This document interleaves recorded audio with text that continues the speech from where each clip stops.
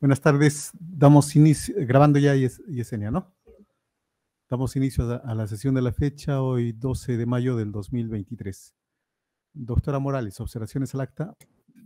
Doctor, buenas tardes. Sin ninguna observación. Doctora Morales. Buenas tardes, señor magistrado. Sin observaciones.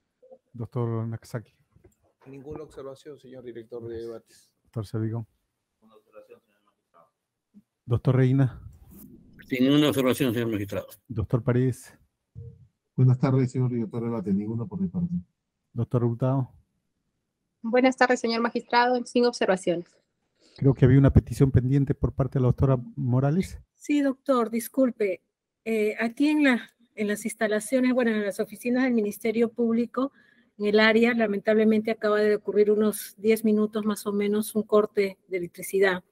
Entonces, como podrán apreciar, estoy a oscuras. Eh, felizmente el equipo tiene batería, algo de batería, pero en algún momento de repente se me acabe.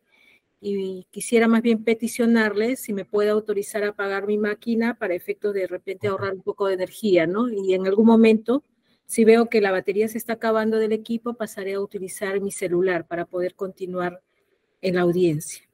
Gracias por avisar de esa contingencia, doctora. Vamos ya, entonces apago mi, voy a apagar mi cámara, doctor. Autorizada, doctora. Gracias, doctor. Buenas tardes. Bien.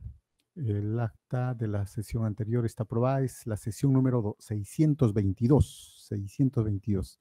Bien, y será firmada por el señor presidente en su oportunidad. Está firmando eso. El control es así tan estricto ahora, en el momento. Bien, señor abogado, puede continuar con sus alegatos y cierre. Gracias, señor director de debate, señores miembros de la sala. Venimos trabajando en el último bloque de prueba documental de cargo, lo que hemos denominado diversos documentos vinculados al tráfico ilícito de drogas. La Fiscalía presenta como prueba de cargo de la actividad criminal previa, delito fuente y circunstancia agravante de la pena, primero, ese bloque de prueba documental que son los formularios de A6, segundo, los actuados del caso de México, y tercero, hay diversos documentos. Diversos documentos que es necesario valorar, y me voy a permitir profundizar en este tema, la necesidad de valorar la documentación de cargo a la luz de las reglas de la prueba indiciaria, porque la sala irá tomando nota a lo largo de la fase de alegatos principalmente que la prueba de cargo es fundamentalmente prueba indiciaria.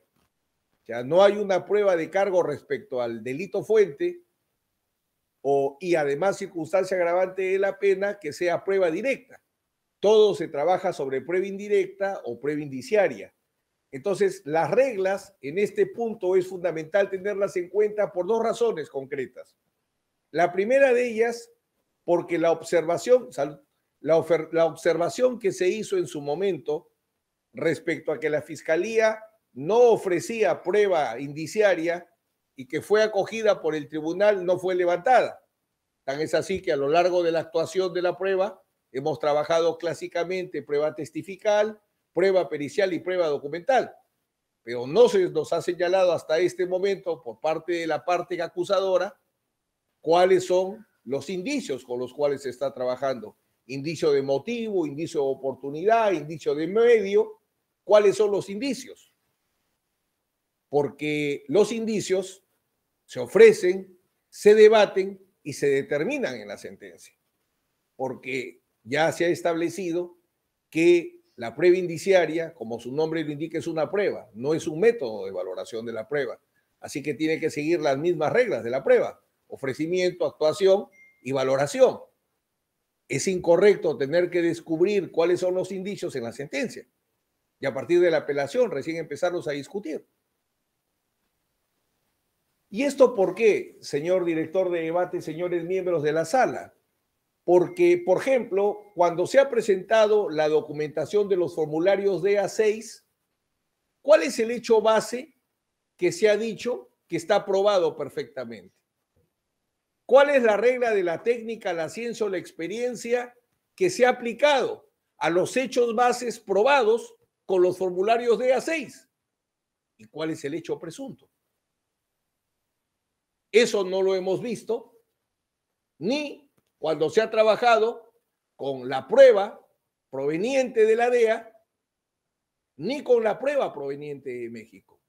Muchos documentos se han discutido, pero evidentemente no siendo prueba directa, se ha tenido que hacer en fase de alegatos cuál es el hecho base probado, cuál es la regla de la ciencia, la técnica y la experiencia que he utilizado, cuál es el hecho presunto para que ustedes, insisto, el tribunal lo determine probado, no que recién lo desarrollen la sentencia. O sea que en la sentencia nosotros no nos podemos enterar cuáles son los indicios de cargo. Eso los hemos tenido que actuar y debatir. Y eso no aparece. Porque si nos dicen, acá hay una prueba indiciaria, nosotros refutamos, acá hay contraindicios. Pero eso lo tenemos que ir deduciendo. Y la prueba no se deduce. Tenemos claramente cuáles son las pericias de cargo y de descargo. Tenemos claramente cuáles son los testigos de cargo y los testigos de descargo. Igual con los documentos. Pero ¿y la prueba indiciaria? Eso no se ha desarrollado. No se ha desarrollado porque implicaría que se haya demostrado para la existencia de la prueba indiciaria requisitos como que las pruebas del hecho indicador o hecho indiciario hayan sido decretadas y practicadas o presentadas y admitidas en forma legal. La sala pidió en el auto de control que se señale cuáles eran las pruebas indiciarias que se llevaban al juicio. Sin embargo, no se hizo. Que no se hayan utilizado pruebas ilícitas para demostrar el hecho indicador. Si, por ejemplo, con la documentación de México queremos demostrar que hubo un acto de tráfico ilícito de drogas en México, los documentos incompletos servirán para eso. Las actas con una sola página, si es prueba indiciaria, eso es lo que se tendría que establecer. Que no exista nulidad del proceso que vicie a la prueba del hecho indicador que la ley no prohíbe investigar el hecho indicador o hecho indiciado. ¿Cuántos hechos bases se han construido? Por ejemplo, Persiles Hermenegildo Sánchez Paredes fue narcotraficante a pesar de una sentencia absolutoria. Correcto. ¿Qué regla permite probar contra una sentencia absolutoria? Si más bien hay prohibición. Entonces, si yo presento prueba indiciaria, tengo que demostrar que se cumplen los requisitos de validez de la prueba indiciaria y los requisitos de eficacia probatoria. No solo que existe la prueba indiciaria, sino que tiene valor para sustentar una sentencia condenatoria, porque nadie discute que se puede condenar con prueba indiciaria, pero bajo qué condiciones o requisitos. Y los requisitos, permítanme señalar dos concretamente que se trate de una pluralidad de indicios y son contingentes, que los varios indicios contingentes sean graves, concurrentes, concordantes y convergentes. Permítanme señalar un ejemplo, a pesar que la Fiscalía no lo ha planteado. Supongamos que con un documento, con el informe de la DEA, que trae el resumen de la declaración de Luis Tafur Mesones, con ese documento se construye el indicio, el hecho base el hecho base, Santos Orlando Sánchez Paredes transportó clorhidrato de cocaína o pasta básica de cocaína, perdón, desde la pista clandestina de Bayóvar hacia el rancho Luna, en México. Correcto. Ese indicio, ¿qué otros indicios han acompañado a esa declaración, a ese tema? Si son varios, se cumple con el requisito de indicios contingentes, varios, plurales, graves, convergentes. Pero si no se señala cuál es la prueba indiciaria, porque no la hemos ofrecido, no la hemos debatido, ustedes reciben la sentencia, señores miembros del tribunal, nos harán conocer cuáles eran esos varios indicios. Si no los hemos logrado detectar en el alegato, ¿Qué defensa eficaz garantizaríamos? Porque nosotros tenemos que deducir, ese es un grave error que tiene que corregirse en la actuación de la prueba indiciaria. la defensa tiene que deducir cuáles son los indicios de cargo. Porque si no se ofrecen en la acusación, no se debate de manera expresa una etapa de prueba indiciaria, tenemos que ir deduciendo. Ah, de la prueba pericial habrían salido estos indicios. De la prueba testifical del testimonio del contador tal habrían salido tales indicios y tendríamos que irlos deduciendo. Y recién en la sentencia sabríamos si nuestra deducción era correcta o no. Por eso es que debemos insistir en que ya que no hubo el ofrecimiento y la actuación como debería ser expresa, es necesario corregir para entrar a valorar. Davis Echandía, por ejemplo, aquí es una línea central nuestra. Si hay indicios de cargo, ¿hay contraindicios? Davis Echandía entiende por contraindicios los hechos indicadores de los cuales se obtiene una inferencia contraria a la que suministran otros indicios. Cuando resultan probados hechos indicadores y contraindicios respecto del hecho objeto de sentencia, sin que sea posible desechar razonablemente unos u otros, el conjunto queda desarticulado, se rompe su conexión y unidad, motivo por el cual la conclusión final ya no es firme ni clara. No puede llegarse al pleno convencimiento que es indispensable para basar una decisión de fondo, sin aplicar la solución de la absolución al acusado por insuficiencia de prueba de cargo o duda razonable. Si sostengo, Santos Orlando Sánchez Paredes es narcotraficante porque su hermano Persiles Hermenegildo Sánchez Paredes fue narcotraficante. Y lo sostengo porque considero que al haber sido absuelto con duda razonable, esa sentencia no genera efecto de cosa juzgada. Pregunto, por lo menos, ¿la sentencia absolutoria no sería un contraindicio? Si es que se va a aceptar ese indicio, se va a aceptar que se construya así ese indicio, la sentencia absolutoria no sería un contraindicio. Otro indicio de cargo que se construye. Santos Orlando Sánchez Paredes es narcotraficante porque Persiles Hermenegildo Sánchez Paredes fue narcotraficante porque aparece en una investigación vinculado a Vladimiro Montesinos Torres. Pero Vladimiro Montesinos Torres, la misma fiscalía ha traído, fue absuelto de tráfico ilícito de drogas. Y los partes y los atestados que trae la fiscalía forman parte del proceso penal que terminó con esa sentencia absolutoria. La sentencia absolutoria a Vladimiro Montesinos Torres no sería un contraindicio. Porque para valorar indicios de cargo hay que descartar los contraindicios. Clement Durán precisa que la contraprueba ataca la realidad del hecho base y la prueba en contrario ataca al hecho presumido explica que la defensa frente al indicio tiene dos formas. A, demostrando que la afirmación base no corresponde a la realidad, la contraprueba. B, justificando la no realidad de la afirmación presumida, prueba de lo contrario. El genio alemán Karl Joseph Anton Mittermeier trabaja con una distinción similar pero con variación de denominación. Los indicios de inocencia son los hechos que impiden absolutamente o por lo menos difícilmente permiten que se atribuya al acusado el crimen. Los contraindicios propiamente dichos son los hechos que debilitan poderosamente a los indicios de cargo, porque de ellos resulta a favor del acusado una explicación enteramente favorable de los hechos que parecerían correlativos al delito y daban importancia a las sospechas.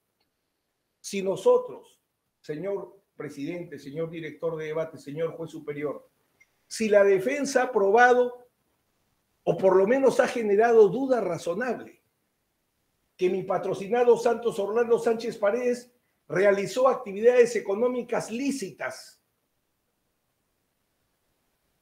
Vamos, ¿qué hay detrás de las pericias? Tiene que haber indicios.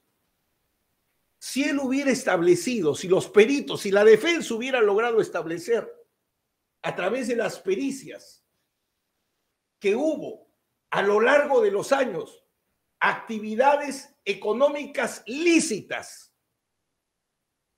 no que constituiría un contraindicio respecto a la imputación que los efectos y ganancias ilícitas del delito de tráfico ilícito de drogas generado en México fue traído para ser lavado a través de Comarsa y todos los actos de lavado que se han imputado. No habría ahí un contraindicio, solo establecer las actividades lícitas. No discute el monto ahorita. Solo establecer que a lo largo de los años hubo actividades lícitas, que no fueron empresas fachadas, que hubo realidad, que en esos miles de boletos hay una realidad de transporte. Porque esto no es un caso de delito tributario, ¿no? Este es un caso de lavado de activos donde la fiscalía y el alegato sobre todo ha sido muy contundente. Todas empresas fachadas, todas empresas que no eran realidad, narcotraficantes a lo largo de tres décadas.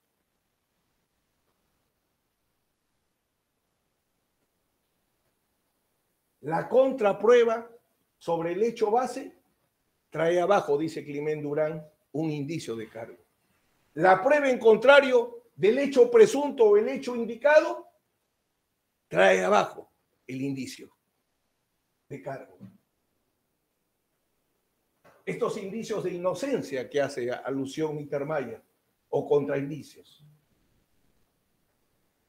En sentido similar, se pronuncia el procesalista penal argentino Hugo Rocha de Greff. Advierte que si bien los indicios pueden suministrar certeza al tribunal, hay que estar alerta contra las apariencias engañosas que pueden generar, para lo cual es necesario valorar la existencia de motivos infirmantes y de contraindicios. Tiene que descartarse el contraindicio, tiene que descartarse la prueba contra el indicio de cargo Rocha señala, los contraindicios pueden ser de dos especies. En primer lugar, pueden oponerse al hecho base o indicador. Por ejemplo, demostrar que el objeto encontrado en casa del imputado y que se sostiene que era de la víctima en realidad era de otra persona. Y en segundo lugar, puede oponerse el contenido probatorio al hecho presumido. Por ejemplo, demostrar que el veneno en poder del imputado que se atribuye como medio del homicidio se adquirió para acabar con una plaga de ratas. Por ejemplo, Acá mucho se construye sobre un atestado y sobre trazos. Varios de los documentos policiales que estamos viendo se basan en un hecho, tendrían como fundamento un hecho base. En un depósito de Santos Orlando Sánchez Paredes se encontraron dos lonas con trazas de PVC. Ese sería el hecho base. Y por tanto, él es narcotraficante. Porque en su depósito se encontraron trazas de PVC él es narcotraficante. Pero, ¿y el auto de sobreseimiento definitivo? Que excluyó de toda responsabilidad penal en ese caso. ¿No sería un contraindicio? Frente a ese indicio de cargo, si es que se puede armar a pesar del auto de sobreseimiento y la prohibición de probar contra la cosa juzgada, pero supongamos, se logra construir el indicio de cargo, como dice la Fiscalía. Acá este atestado permite construir un indicio de cargo. ¿Cuál es el indicio de cargo? Había trazas de PVC y por tanto si había trazas de PVC, hecho presunto es un traficante de drogas. Y si fue un traficante de drogas ayer, lo fue también en México. Ya, ok, ese es el hecho base. Ese es el indicio construido. Pero el auto de sobreseimiento que dice no hay ninguna responsabilidad penal respecto a esas trazas o la pericia química forense que dice no había trazas, porque ese era un análisis provisional, no era el análisis definitivo. No son contraindicios. ¿No generan duda razonable? Si lo que hay que probar es culpabilidad, más allá de toda duda razonable. Si un químico experto viene y dice, hermano, que dice el documento, es un análisis provisional. Acá está el oficio que se pidió la pericia y la pericia nunca vino. ¿No genera duda razonable?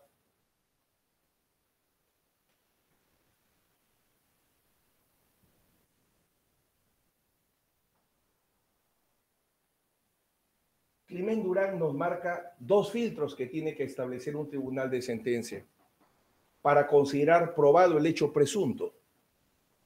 El hecho presunto que estamos buscando es la circunstancia agravante de la pena que desde un aeropuerto, una pista clandestina de Bayóvar, dentro del 84 al 87 se hicieron tres transportes de droga a México con pasta básica de cocaína.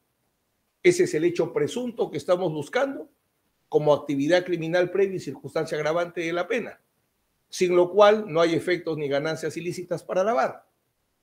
Primero nos dice Filtro depurador, prueba de lo contrario. ¿Hay prueba en contrario o no hay prueba en contrario? Por eso tenemos que ir a los indicios de cargo. Indicio de cargo, por ejemplo. Santos Orlando Sánchez Paredes es narcotraficante porque un atestado se le vincula a Lucio Tijero Guzmán. Y eso se prueba con un atestado policial.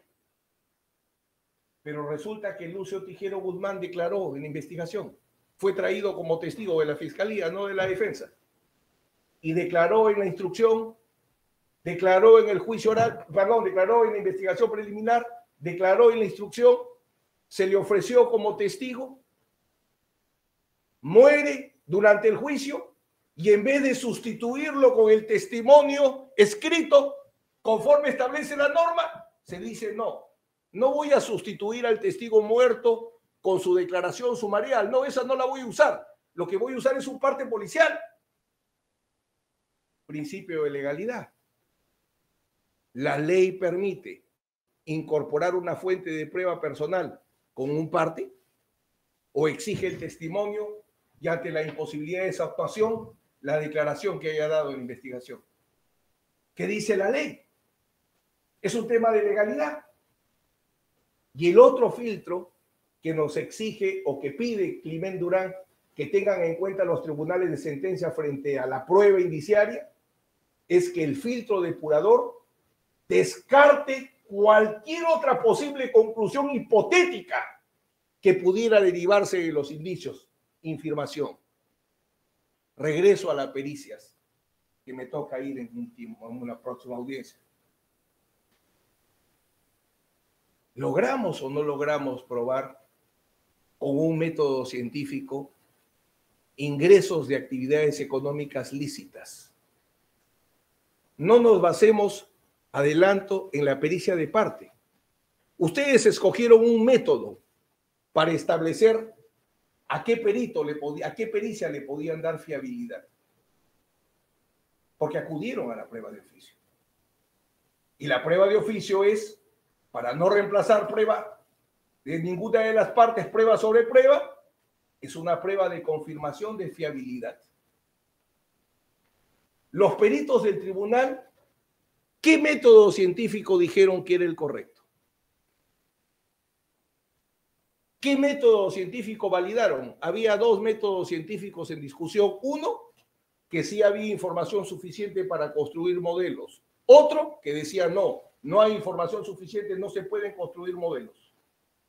¿Qué ha dicho la pericia del tribunal? ¿Que había información suficiente para construir modelos o que no la había? Y por tanto no se podían construir modelos como planteaba la Fiscalía y la parte civil a través de sus peritos. Entonces, ustedes tienen que descartar cualquier otra posibilidad, porque si los métodos científicos eran válidos, los ingresos económicos establecidos, el patrimonio que esté en discusión en este juicio, ¿es probable que haya tenido un origen lícito? ¿O tenemos que probar en el grado de certeza que tenía un origen lícito? Tenemos que probar en el grado de certeza exactamente cuántos soles fueron. O tenemos que establecer probablemente cuál es nuestro estándar probatorio para trabajar con contraindicio. Nosotros no somos la fiscalía. No tenemos la carga de la prueba. Recordará quizás la sala en una audiencia donde se planteaba por la fiscalía incorporar la prueba dinámica. Tiene su escenario y su lugar.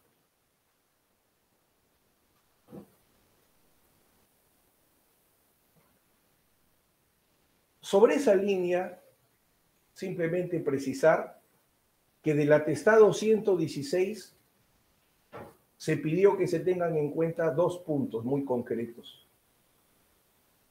¿Cuál es el hecho base que postula Fiscalía con este atestado? Estoy permitiéndome ordenar la prueba de cargo para establecer su mejor valor o su mejor forma de valoración. ¿Cuál es el hecho base? Porque la Fiscalía nos dice Traigo una prueba documental, traigo el atestado policial 116, y entramos a discutir qué dice el atestado policial 116. Pero el atestado policial 116 la fiscalía no le está ofreciendo ni lo ha actuado como prueba directa. Porque si fuera prueba directa, un atestado del 26 de marzo de 1980, que hecho constitutivo del delito, nos permite ver directamente el atestado.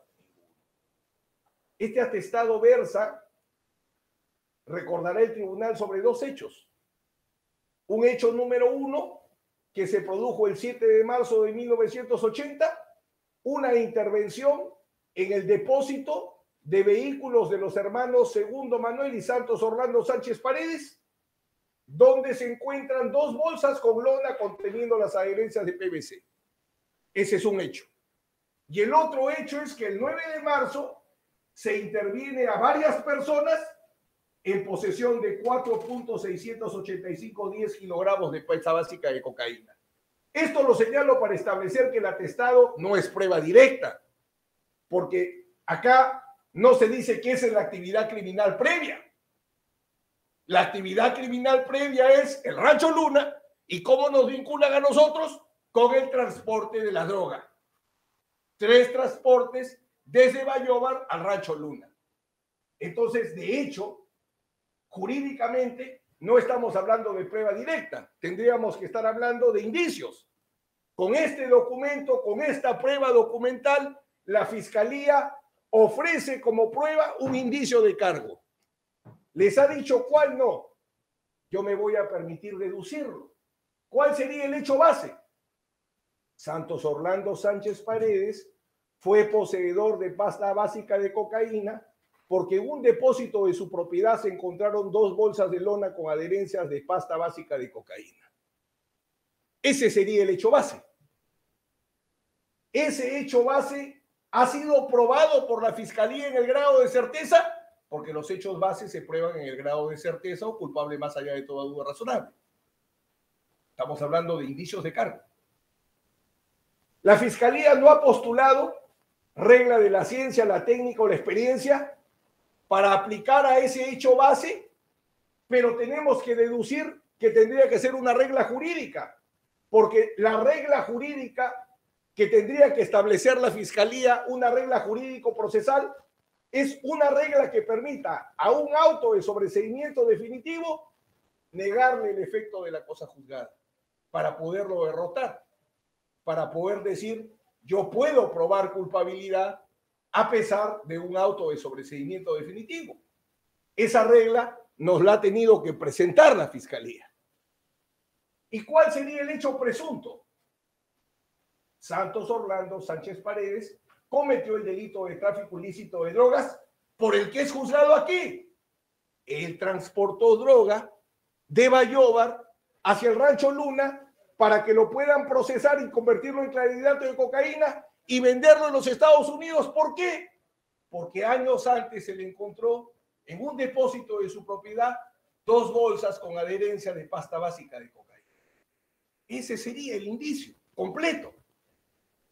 Pero ese indicio completo inmediatamente se viene abajo, porque es imposible, es imposible que se pueda probar contra los hechos que son objeto de cosa juzgada.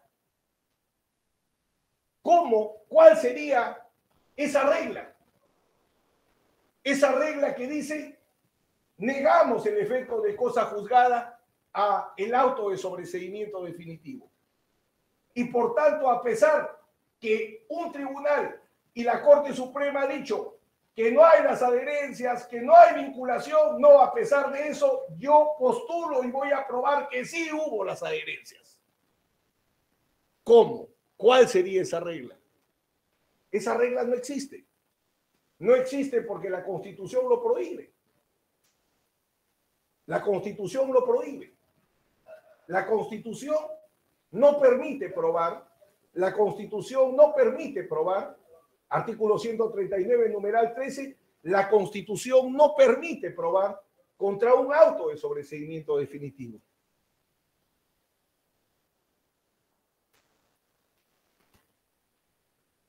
No voy a repetir lo que ya el tribunal ha establecido en este auto de sobreseimiento definitivo, Solamente permítanme llegar a su conclusión.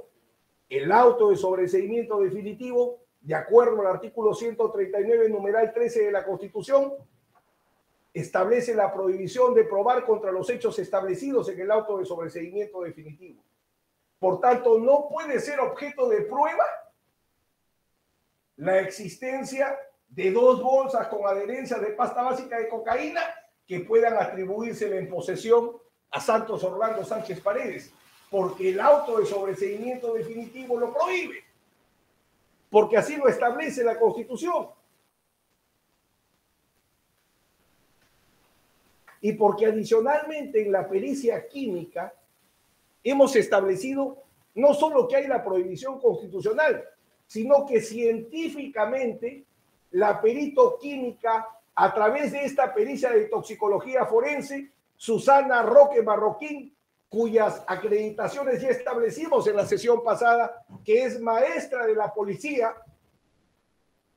establece que lo que se utilizó fueron exámenes de campo, no exámenes de verificación de droga. Y por eso es que se trató de un informe preliminar y hacía falta el peritaje toxicológico, que incluso fue solicitado mediante oficio 154 del 12 de marzo de 1980, pero que la policía no esperó. Que la policía no esperó. Y recuerde la sala que el Tribunal Correccional en su momento y la Corte Suprema estableció un sesgo y una actuación irregular de la policía, en este caso, para incriminar a mi patrocinado y a su hermano. Entonces,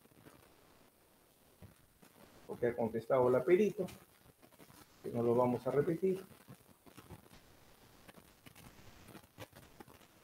La fiscalía probó o no probó el hecho base.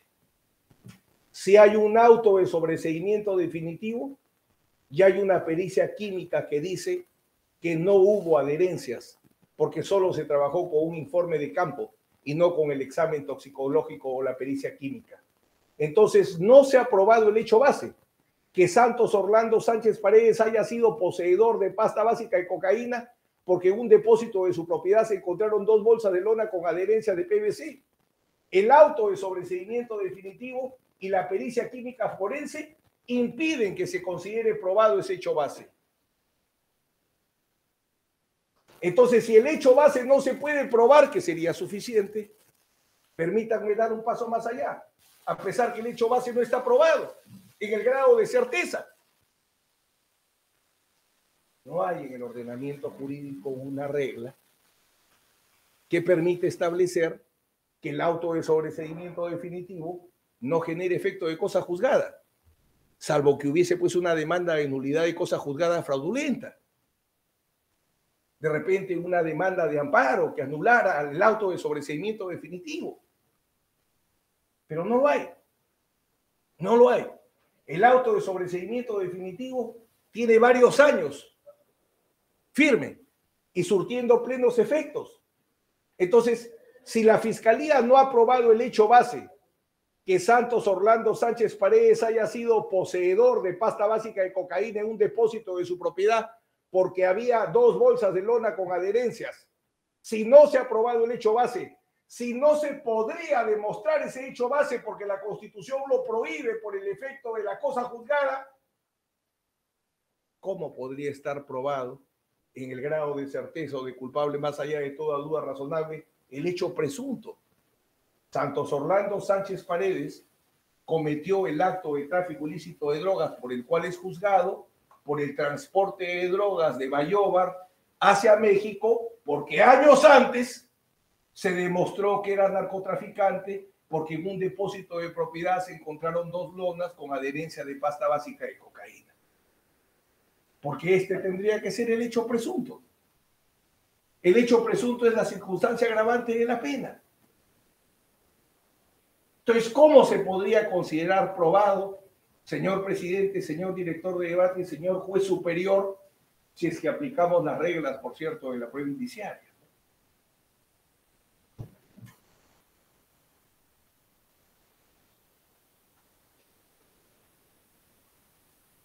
La fiscalía, a partir del atestado, postula otro hecho base. La fiscalía dice: Santos Orlando Sánchez Paredes fue poseedor de pasta básica de cocaína, el hecho ya lo conocemos, porque en un depósito de su propiedad se encontraron dos bolsas de lona con adherencia de pasta básica de cocaína. Y a partir de ese hecho, plantea otro hecho. Santos Orlando Sánchez Paredes simuló la transferencia de inmueble, o sea, quiso deshacerse del inmueble, quiso desvincularse del inmueble donde se encontraron las bolsas con adherencias de pasta básica de cocaína y además vendió inmuebles. Y ahí nos saca que Santos Orlando Sánchez Paredes simulaba porque decía ser otra persona. Recordarán el tema de la otra persona y el documento de identidad. que le ocultaba ser otra persona? Un señor Carpio. Entonces, veamos si ese segundo hecho base, todos deducidos del atestado porque esa es la prueba de cargo que se nos ha traído. En esta segunda parte, donde la fiscalía nos ataca con la transferencia del inmueble y la transferencia de los vehículos, tienen que partir. ¿Por qué, tenía, ¿Por qué se criminaliza la transferencia del inmueble? Porque había en su depósito adherencias de pasta básica de cocaína. ¿Por qué se criminaliza la venta de vehículos? Porque había en su depósito pasta básica de cocaína, adherencias en dos bolsas de lona. Nuevamente, la fiscalía tendría que vencer el auto de sobreseimiento, porque solo si Santos Orlando fue poseedor de, de droga, tendría sentido criminalizar la transferencia del inmueble, está ocultando el delito. Solo en ese sentido tendría sentido criminalizar la venta de los vehículos. La fiscalía en esta parte de su prueba indiciaria necesita que Santos Orlando Sánchez Paredes esté probado que fue poseedor de pasta básica de cocaína. Y para eso se encuentra con el mismo problema. Tiene que vencer el auto de sobreseimiento definitivo. Quizás por eso no se ha ofrecido y se ha discutido la prueba como prueba indiciaria, porque esto es lo que nos exigiría. Recuerdo que la parte civil en algún momento mencionaba que había una ejecutoria de la Corte Suprema que hablaba de la cosa juzgada refleja y que eso permitiría, y más de una vez la sala preguntó, señale el fundamento jurídico por el cual se permite. ¿Cómo se permitiría dejar sin efecto la cosa juzgada? ¿Algún argumento? Ninguno, porque no existe. No existe. No existe, a eso no se refiere la cosa juzgada, este, refleja es otra cosa pero estuve muy atento al alegato de la parte civil para ver si desarrollaba alguna teoría jurídica, alguna regla que permita dejar sin efecto la cosa juzgada. Y el hecho presunto, ¿cuál sería? Santos Orlando Sánchez Paredes cometió tráfico ilícito de drogas, razón por la que tuvo que simular la venta de inmuebles y vender los vehículos en que los que se encontraron lonas con adherencia de pasta básica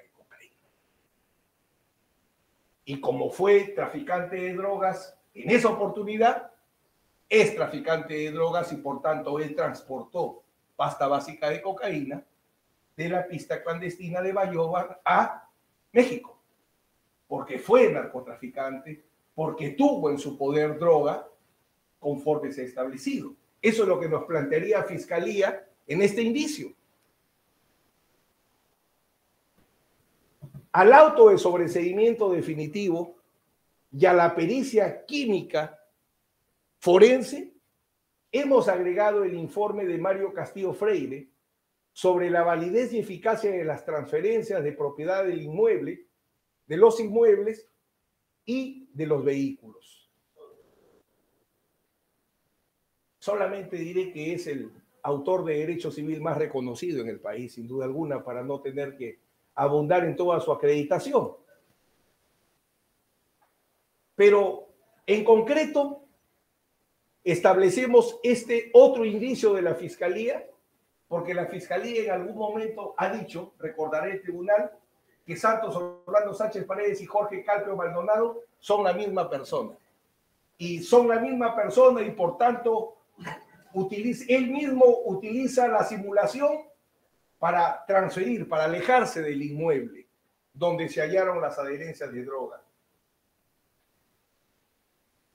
Es central para que esto sea criminalizado, para que transferencias de bienes sean criminalizados, es fundamental considerar probado las adherencias, el hallazgo de las adherencias de droga.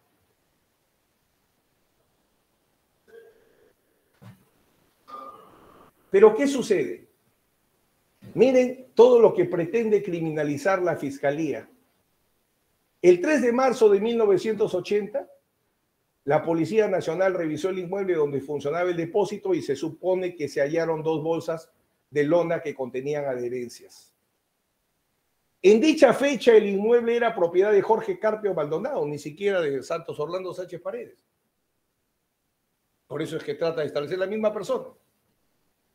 Y más allá, que ya el auto de sobreseimiento definitivo y la pericia química han demostrado que no hay esas dos bolsas, por eso hay un auto de sobreseimiento definitivo.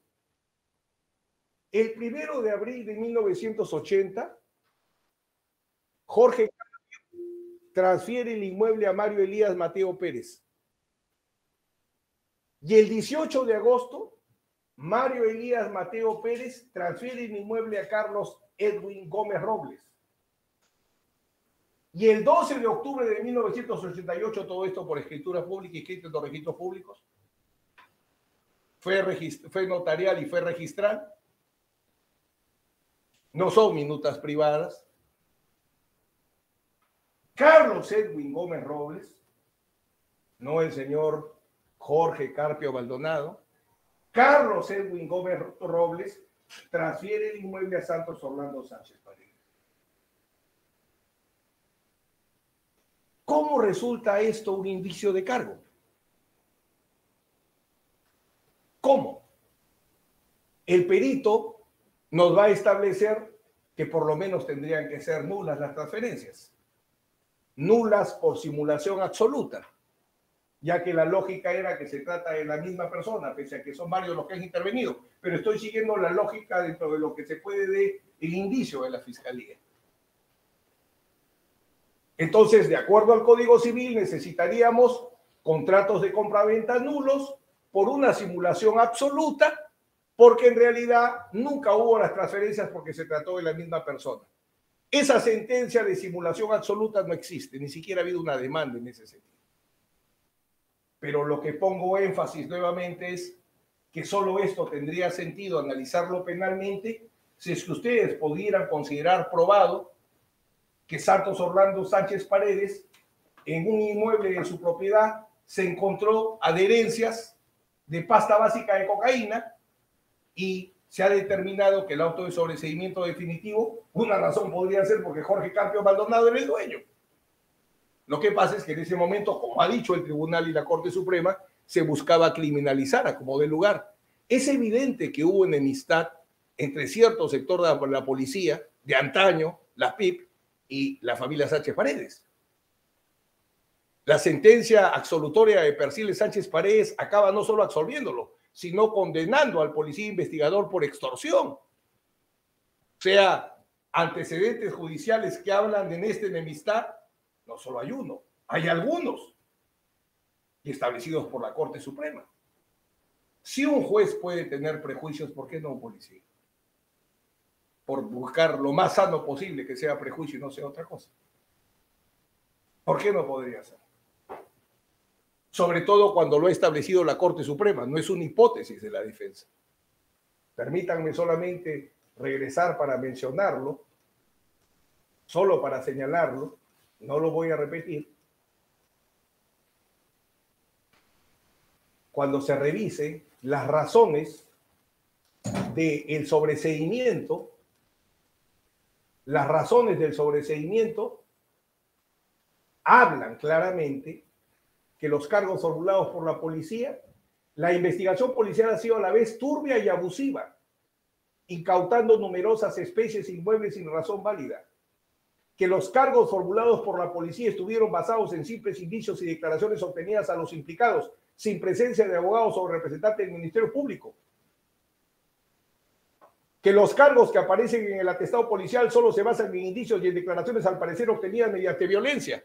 Estas no son apreciaciones del defensor. Son conclusiones del Tribunal Correccional que dictó el auto de sobreseimiento definitivo con dictamen favorable del Ministerio Público en las dos instancias, del fiscal superior y del fiscal supremo. Y luego la ejecutoria de no haber nulidad en la Corte Suprema. O sea, ocho jueces del Poder Judicial y dos fiscales, dos fiscalías, hablan que esta investigación estuvo plagada de sesgos y irregularidades.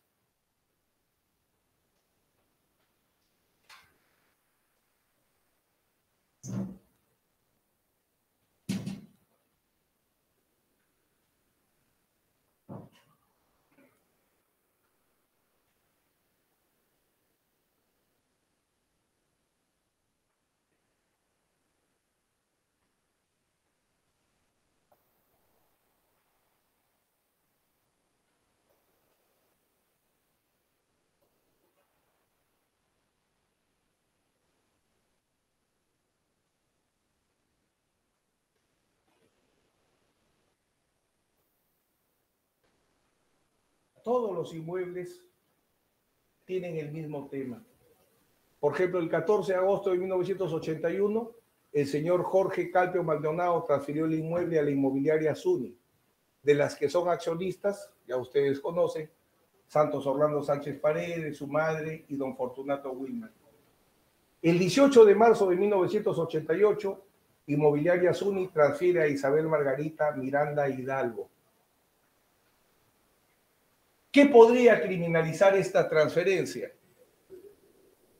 Con fe notarial y registral.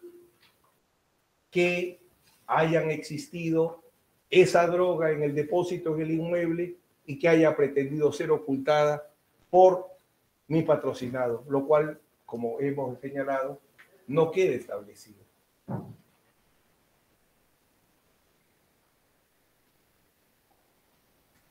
Y en el caso de los vehículos, más allá que un vehículo lo vende lo adquiere, perdón, Jorge Carpio Maldonado, lo cierto es que son otras personas.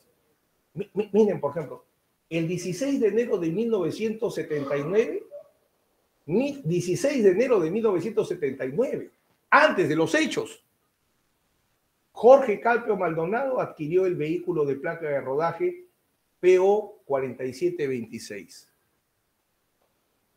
el 2 de noviembre de 1987 otorga poder al señor Oscar Darío Alegría Tapia a fin de que pueda transferirlo. Y el 26 de febrero de 1988, el señor Oscar Darío Alegría Tapia transfiere el vehículo a Santos Orlando Sánchez Paredes. ¿Qué podría tener de criminal esta transferencia de vehículos? La única posible, entre comillas, es que estos vehículos, en estos vehículos hayan estado las lonas en las cuales se encontró adherencias para la pasta básica de cocaína en un depósito de Santos Orlando Sánchez Paredes. Auto de sobreseimiento definitivo, pericia química en auditoría forense. ¿Qué elemento jurídico permitiría que ustedes puedan sostener estas transferencias sí deben ser un indicio de criminalidad porque se trata de ocultar un delito que se estaba cometiendo. Más allá que todo es en este caso con registro de propiedad vehicular. Son ventas públicas.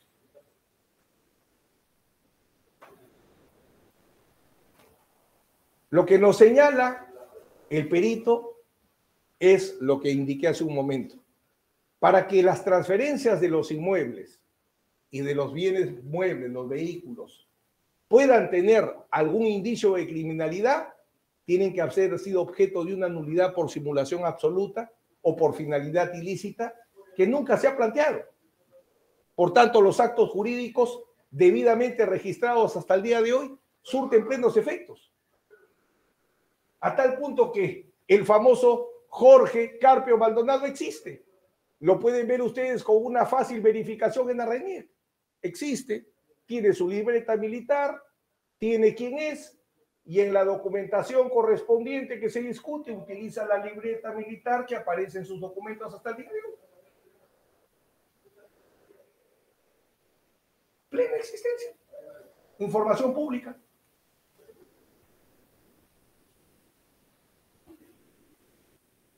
Estos son los documentos que han traído como prueba de cargo. Esa es la libreta militar. Esa es la libreta militar que aparece en su registro de la red.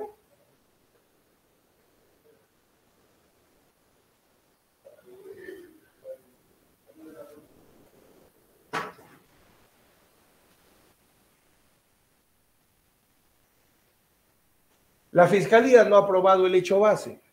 Santos Orlando Sánchez Paredes fue poseedor de pasta básica de cocaína porque en un depósito de su propiedad se encontraron dos bolsas de lona con adherencias de pasta básica de cocaína, lo que motivó que simule la transferencia del inmueble y venda vehículos. ¿Cómo no, señor director de debates? Gracias, señor director de debates. Señor director de debate, disculpe la interrupción. Eh, quisiera hacer un pedido y sobre todo por su intermedio a la defensa, en atención a que está haciendo una serie de aseveraciones en cuanto, por ejemplo, se ha referido de que ha declarado la nulidad de las declaraciones recibidas en, por las autoridades mexicanas, se ha dado referencia también de información sobre pronunciamientos fiscales que obra según el defensor en el expediente judicial.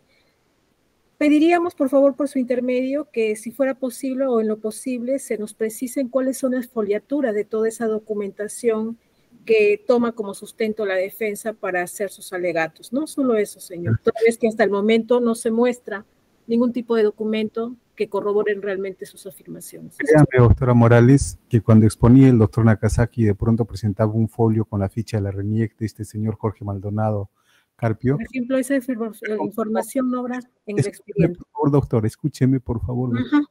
Yo me mordía la lengua por decirle, doctor Nakazaki, ¿y en qué folio está ese documento?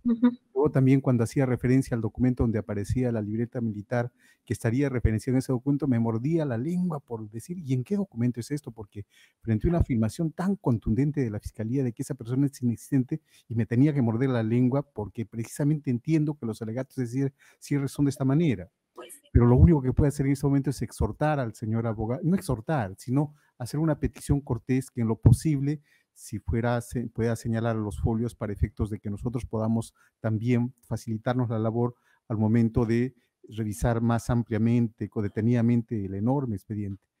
Es, son los temas, pues los roles que cumplimos. Por eso, doctor Nakazaki, le hacemos esa, esa petición de manera cortés para ver si usted puede satisfacer esas inquietudes de fiscalía y se nos pueda señalar los, los folios a los que ha hecho referencia la fiscalía. Y yo no pido por nosotros, porque nuestra labor, buscaremos nosotros los folios de esa documentación que usted ha hecho referencia. Gracias. Podemos proseguir, doctor. Pierda usted cuidado que al concluir con nuestras conclusiones, al terminar con nuestras conclusiones, no solo vamos a hacer la referencia a cada documento y su foja, ¿no? Porque nada, en ningún sentido tendría alegar algo que no existe. No tendría ningún sentido. Así que obvia, obviamente están en el expediente y en su momento y respecto a las, lo de la RENIC señalamos que era un hecho público y por eso poníamos como ejemplo el tema de la RENIC, pero las escrituras sí están. Sí están. Bien, entonces, este, y señalando este punto, y lo que quiero es marcar esto lo hemos hecho sobre la siguiente base. Todo esto que estamos mencionando, todo esto que estamos mencionando para reordenar, responde a que todo esto es consecuencia de un indicio que se construye a partir de un atestado. El planteamiento que hacemos es que a partir de la presentación como prueba de cargo del atestado policial 116, oralizado en la sesión 530 del 26 de septiembre del 2022, la Fiscalía ha construido una prueba indiciaria bastante larga y es la que estamos explicando. Pero el documento que se aporta como prueba de cargo, porque nosotros no estamos hablando de ofrecer prueba de descargo, lo que nosotros estamos señalando es que con este documento se ha omitido señalar, que esa sería la primera omisión, que sería interesante que la Fiscalía también señale, se ha omitido señalar cuál es el indicio. ¿Cuál es el indicio que se ha construido con ese documento? Y nosotros lo tenemos que reconstruir porque la sentencia, evidentemente la Corte, la Sala y la Corte Suprema en su momento, lo que van a analizar es prueba. No van a analizar prueba directa porque en este caso no hay prueba directa. En este caso acá, sin señalarse, y reitero, en la etapa intermedia, tampoco he escuchado nada, en la etapa intermedia se declaró fundada una observación, y era que si la fiscalía iba a trabajar con prueba de cargo indiciaria, tenía que señalarla. Me remito al auto de control formal. Y la fiscalía lo que hace es aportar un documento y no explica el indicio. Y quiere que la sala en su momento evalúe el indicio y nosotros tenemos que hacer defensa frente a ese indicio. Entonces, señor director de mates, el documento es este. Y este documento es el que nosotros consideramos que no logra construirse el indicio. Y para explicar que no se construye el indicio, es que estamos haciendo toda esta argumentación, para demostrar que el indicio no está construido. Y son dos indicios que trabaja la fiscalía con ese atestado. El primer indicio es sobre el hecho base del poseedor de la pasta básica de cocaína en las dos loras de adherencia. Y el segundo indicio, el segundo indicio, por eso si nos va a pedir, entonces que nos pidan de todo y todos cumplamos. El segundo indicio que trabaja la fiscalía, salvo que se me señale que no están trabajando prueba indiciaria, sino prueba directa entonces mi alegato sería solamente de un rato, una sola sesión. Si fuese así. Este es el segundo indicio. Sobre la base que Santos Orlando Sánchez Paredes es poseedor de pasta básica de cocaína, por esa razón, porque él poseía pasta básica de cocaína en un depósito, simula la transferencia de un inmueble y vende los vehículos sea, todo el problema de los todo el problema de la transferencia del inmueble y de los vehículos, señor director de debate, señores jueces superiores, es sobre la base que Santos Orlando Sánchez Paredes sea poseedor de pasta básica de cocaína, porque en su depósito hubo dos lonas. Y eso supone derrotar el auto de sobreseimiento definitivo y eso supone valorar la pericia, la pericia química forense que hemos presentado. Y ahí nos podemos quedar. Si no hay las adherencias, ningún indicio se puede construir. Pero queremos generar convicción. A pesar que solo podemos generar, basta que generemos dudas razonables, pero queremos generar convicción. Porque buscamos, como lo he dicho con toda transparencia, una solución jurídica y una solución social. Entonces, acá no se está trabajando con prueba documental, Acá se está trabajando con prueba indiciaria. Indicio que así debió ser demostrado en el alegato fiscal. Y como no lo ha hecho, tenemos que hacerlo nosotros. Y no reclamamos la omisión, ¿no? No podíamos interrumpir. Entonces, en este segundo indicio, aprovecho para concentrar el argumento. En este segundo indicio, la simulación de la transferencia del inmueble, si fueron la misma persona o no son la misma persona, si es un tema de interés, ese tema de interés solo tiene sentido si es que Santos Orlando Paredes fue poseedor de pasta básica de cocaína en su depósito, porque si nunca poseyó pasta básica de cocaína, son actos jurídicos lícitos. Si la simulación es una figura legal la simulación es una figura permitida por la ley y solamente es nula si el acto oculto es ilícito. La simulación es una figura absolutamente legal. Y eso el tribunal lo conoce perfectamente. Cuando vamos al Código Civil, formas del acto jurídico, las diversas anomalías del acto jurídico, está la figura de la simulación. Y la simulación es lícita salvo que el acto oculto sea ilícito. Eso establece el Código Civil. Tanto la simulación absoluta como la simulación relativa son lícitas, salvo que el acto oculto sea ilícito. Entonces, ¿qué haría criminalizable? Que solamente señalen, fueron simuladas las transferencias. No, porque la simulación es una figura legal. Que un policía confunda simulación con estafa, perfecto. Pero este es el mundo jurídico. La, por eso es que recurrimos a un civilista. Y muchas veces dice, ¿y por qué tienen que traer expertos? Porque mucho penalista piensa que la simulación es sinónimo de estafa. No es así. Acto jurídico, modalidades del acto jurídico. Tiene la simulación. El acto simulado es lícito, salvo que el acto oculto sea ilícito. Y acá lo único que podría marcar la ilicitud de las transferencias de estos actos jurídicos es que Santos Orlando Sánchez Paredes haya poseído droga en ese inmueble, haya poseído droga en esos vehículos. Y como quería deslindarse del cuerpo del delito, lo simula, lo transfiere. Pero si un auto de sobreseimiento definitivo ha dicho no hay adherencias. No hay responsabilidad penal. Auto de sobreseimiento, ese auto de sobreseimiento definitivo, si de algo es sinónimo, es de sentencia absolutoria, de inocencia.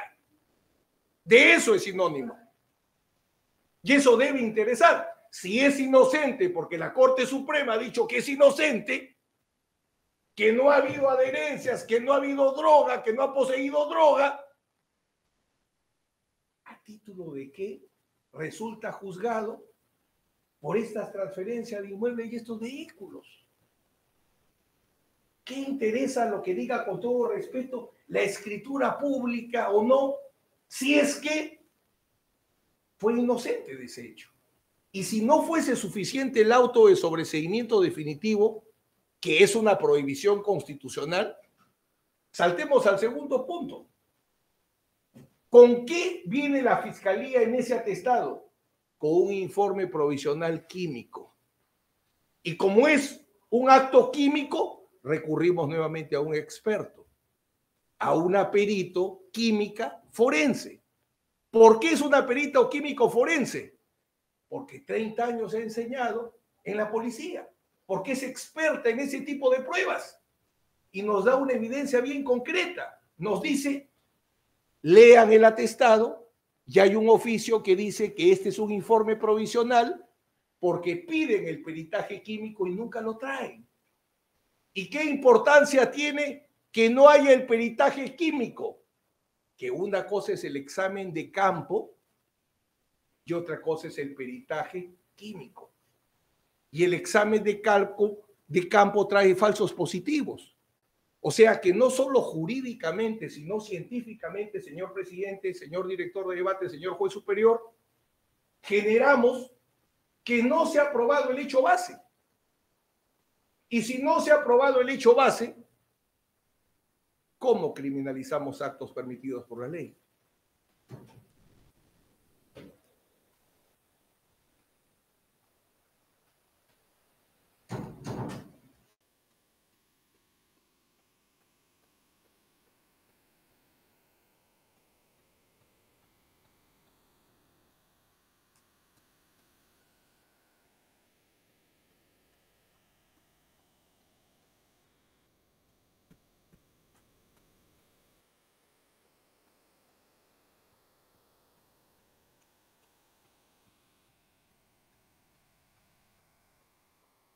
La fiscalía, que es la que ha traído el atestado 116, la fiscalía trae como prueba de cargo, esta no es prueba de descargo, señores miembros del tribunal, la ejecutoria suprema del 8 de agosto de 1988, emitido por la segunda sala penal de la Corte Suprema de Justicia en el expediente 137386 que absuelve a Persiles Hermenegildo Sánchez Paredes del tráfico ilícito de drogas Y como todo documento o prueba documental de la Fiscalía al cual hacemos referencia, señalamos dónde se ha actuado. La sesión 540 del 21 de octubre del 2022. Toda la prueba documental con la que trabajamos de la Fiscalía la referenciamos, sin perjuicio de referenciar lo que la sala estime. No hay ningún inconveniente en eso. Pero toda la prueba documental desde el primer día que hemos comenzado, hemos señalado, porque si no se realiza, no existe. Salud. Nuevamente, nuevamente, la fiscalía solo nos presenta el documento y nos hace el comentario que esta sentencia no sirve porque ha sido dictada sobre aplicando el indubio pro reo. Eso es toda la actuación fiscal. La pregunta es nuevamente, ¿esta es prueba directa o es prueba indiciaria? Porque si es prueba directa, solo tenemos que referirnos a su contenido y nada más. Porque, ¿qué prueba el documento? Si es auténtico, prueba lo que dice su contenido. Y si es un documento público, prueba plenamente lo que contiene. Pero la prueba de cargo, yo dejaría de ser responsable como abogado si yo sostengo que la prueba de cargo es una prueba directa. Aparte que sería pues ilógico, una sentencia absolutoria, ¿cómo va a ser una prueba directa de lavado de activos agravado por tráfico ilícito de drogas? Y esto prueba el delito fuente. Según la fiscalía, prueba el delito fuente. Entonces, no puede trabajarse con prueba directa, tiene que trabajar con prueba indiciaria. Pero a pesar que se le dijo en etapa intermedia y a pesar que se le ha requerido, no explica cuál es el indicio de cargo. Entonces tenemos que construirlo para decir con toda autoridad que no está aprobado, que no está establecido este indicio de cargo. ¿Y el indicio de cargo cuál es?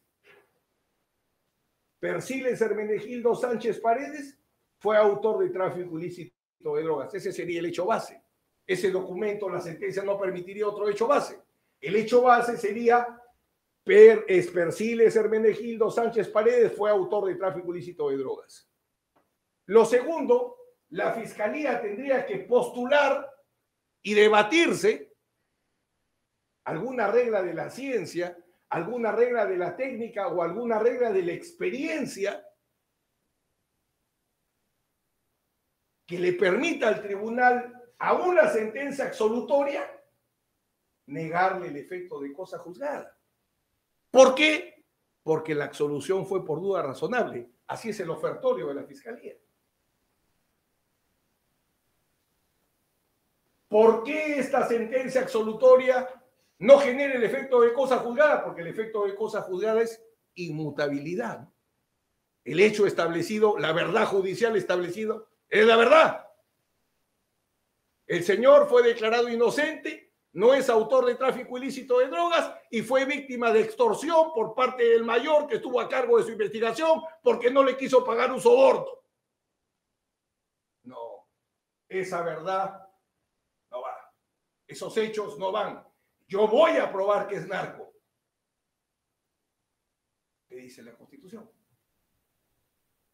ya no un auto de sobreseimiento definitivo que definitivamente tiene importancia.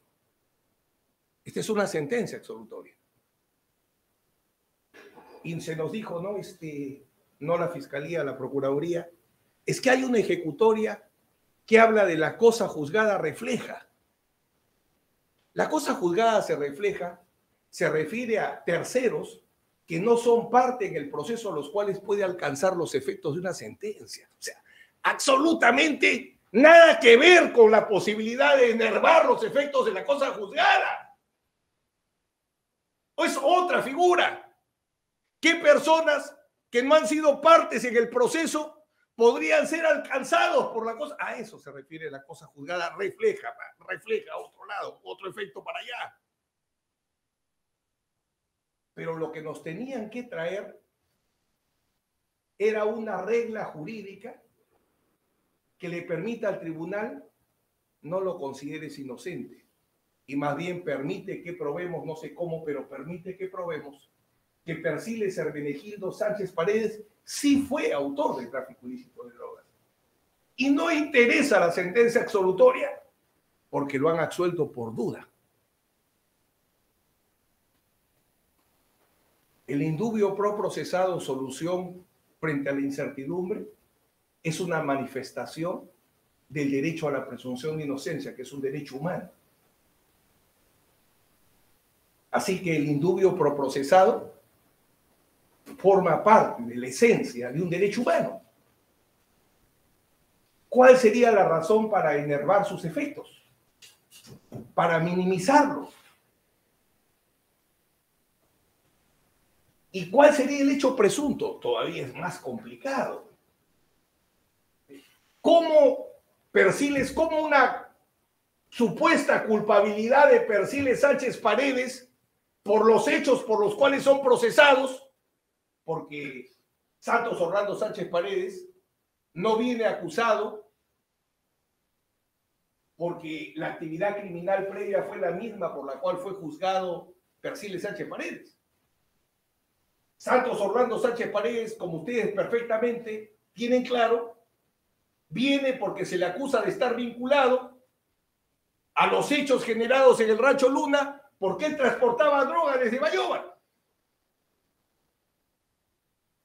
Entonces, ¿cómo se construiría el hecho presunto?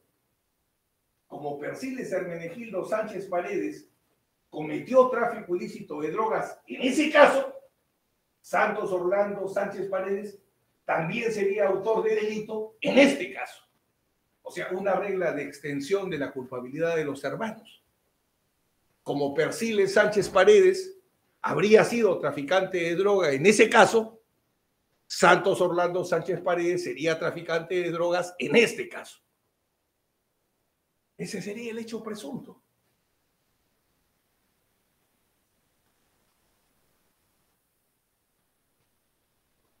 Absolutamente ilegal.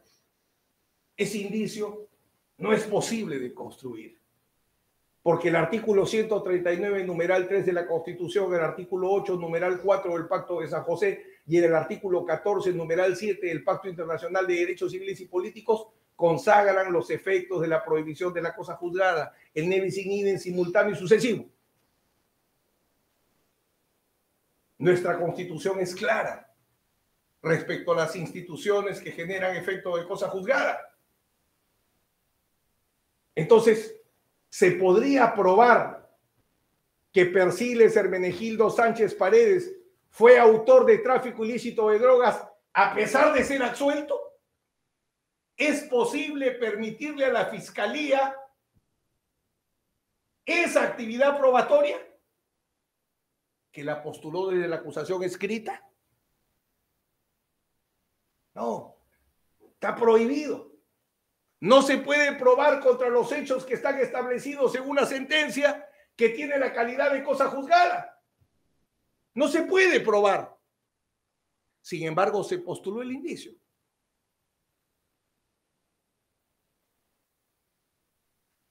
No hay forma de desconocer la aplicación de la regla del indubio pro procesal. Más bien lejos de ser una prueba de cargo, además de ser útil para la defensa porque está absuelto Persiles Hermenegildo Sánchez Paredes, nos permite establecer un punto que es central. Según la Corte Suprema, se dedicaba a actividades industriales y comerciales lícitas en la ciudad de Trujillo. Una de tantas razones para ser absuelto es que no solo no se probó que es traficante de drogas, sino la Corte Suprema probó que se dedicaba a actividades industriales y comerciales lícitas en la ciudad de Trujillo.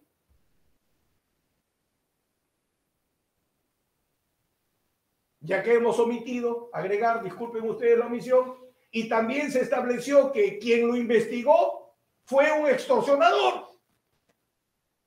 Nuevamente, así como con el, con el, con el atestado policial 116, la Corte Suprema dice ¿Hay actuación irregular?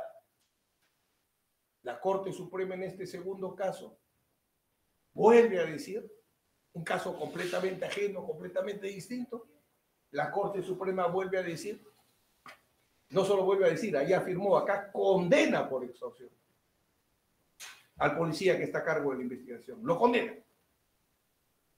Porque dice esto vino de la extorsión, este caso. Por eso es que cuando arrancamos esta defensa, quisimos recordar dónde inició este caso. El Palacio Gobierno. Con toda la plana mayor de la policía. ¿Para anunciar qué cosa? ¿Una condena? No. Para anunciar el inicio de una investigación preliminar. ¿Es frecuente? ¿Es común? ¿Se anuncia en el Palacio de Gobierno el inicio de una investigación preliminar? Solo veo un caso posible, similar, cuando se enseñó capturado a Manuel Guzmán Reynoso. ¿Qué otro caso? Más allá que no es el campo de competencia del Ejecutivo. Es evidente que había problemas en cierto sector de la policía, no voy a generalizar, y mis patrocinados y su familia. La fiscalía no ha aprobado el hecho base que Persiles Hermenegildo Sánchez Paredes sea autor de tráfico ilícito de drogas. ¿Y por qué no ha aprobado ese hecho base? Porque no existe la regla jurídica que le permita negar a la sentencia absolutoria el efecto de cosa juzgada. No existe esa regla, que tendría que ser convencional y constitucional. Y Fiscalía no ha podido demostrar el hecho presunto, que era, por cierto, de imposible probanza. Como Persiles Hermenegildo Sánchez Paredes cometió tráfico ilícito de drogas en un caso, Santos Orlando Sánchez Paredes también es autor de drogas en otro caso. Porque el hecho presunto, el hecho acá, es la actividad criminal previa del Rancho Luna en la cual se imputa a Santos Orlando Sánchez Paredes el transporte de la droga de Bayobar hacia México. Luego, la Fiscalía nos trae otro atestado. El 22 IC de fecha 18 de marzo de 1982, oralizado en la sección 531 del 27 de septiembre del 2022. Nuevamente, señores miembros de la sala, ¿La fiscalía trae prueba directa o prueba indiciaria? ¿Este atestado es prueba directa? No puede ser prueba directa este atestado. Este atestado no es prueba directa, porque este atestado no tiene que ver con los hechos constitutivos del delito por los cuales se acusa mi patrocinado en este caso. Entonces, ¿cuál es el indicio? ¿Cuál es el indicio que la fiscalía pretendería establecer a través del atestado policial 22 IC del 18 de marzo de 1982. El hecho postulado, porque es un caso donde se menciona a Persiles Hermenegildo Sánchez Paredes. Ese es el atestado. Un caso donde se le menciona a él, a Lucio Tijero. Entonces, eso, ese atestado donde se menciona a Persiles Sánchez, es prueba de cargo para condenar a Santos Orlando Sánchez Paredes por la circunstancia agravante de la pena como autor de tráfico ilícito de drogas. ¿Cuál es el hecho postulado? En este atestado solo puede ser uno, que Persiles Hermenegildo Sánchez Paredes fue autor de tráfico ilícito de drogas. No postula una regla de la ciencia, de la técnica o de la experiencia que permite extender la responsabilidad penal a un hermano. O sea, como en el atestado policial me mencionan a mí como autor de un delito, mi hermano también sería responsable del delito por el cual a él se le acusa. Porque ¿cuál sería el hecho presunto relevante para este caso? Con ese atestado que solo hace referencia a Persiles Hermenegildo Sánchez Paredes. Que el hecho presunto sería que como Persiles Hermenegildo Sánchez Paredes fue autor de tráfico ilícito de drogas en el caso vinculado a ese atestado,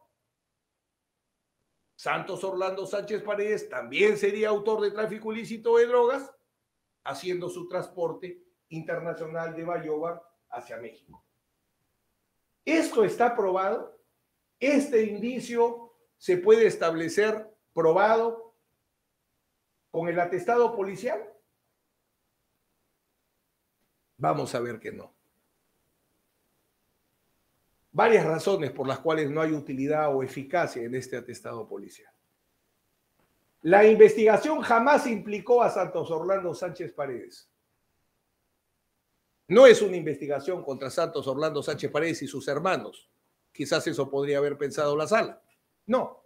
La policía, sin razón alguna, sin razón alguna, porque el atestado tampoco es contra Perciles Sánchez, sin razón alguna, hace mención a un atestado policial en el que se hace referencia a Perciles Hermenegildo Sánchez Paredes. En los antecedentes de ese atestado se mencionan atestados. Y uno de los atestados que es mencionado, Perciles Hermenegildo Sánchez Paredes, porque tampoco es el investigado del atestado 22. Segundo, un tema que es central. ¿Qué es el atestado policial? Es un documento narrativo. No prueba los hechos que contiene. Lo que prueba es la opinión de la policía sobre la investigación, al punto tal que ahora se le ha prohibido esa opinión en el nuevo código y solo tiene que hacer catálogo de diligencias. Ya no se le deja opinar.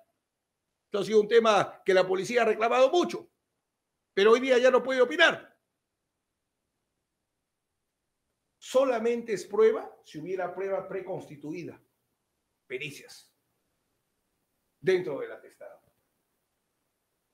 Este atestado policial no generó ni siquiera proceso penal contra Santos Orlando Sánchez Paredes, porque como nunca fue investigado, ¿cómo podría ser procesado?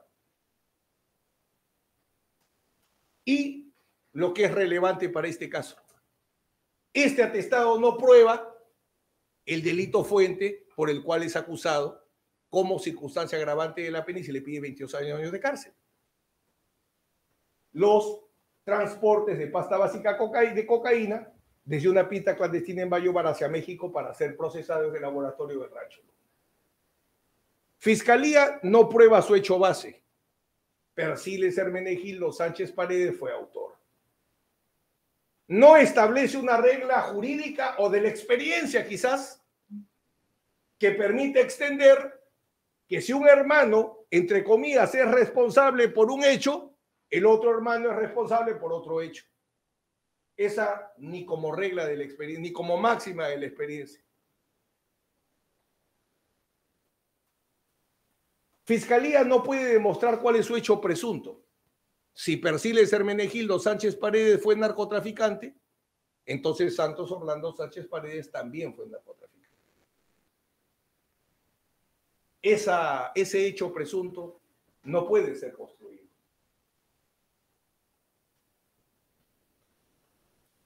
Luego la fiscalía, ah, acá esto es muy importante. Los tres documentos policiales. Vamos a cerrar la sesión ahora,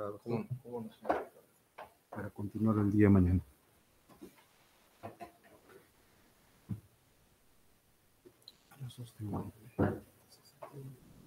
Sí, sí, por lo menos habrán dos testigos, una hora, las tres, no sé.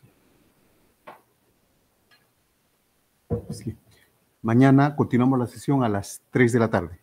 De 2 a 3 tenemos otra, otro caso, entonces estamos con el tiempo siempre cerrado. Conforme, señores. Sí, señor. Gracias. Buenas tardes. Bien. Hasta mañana, señores. Hasta mañana.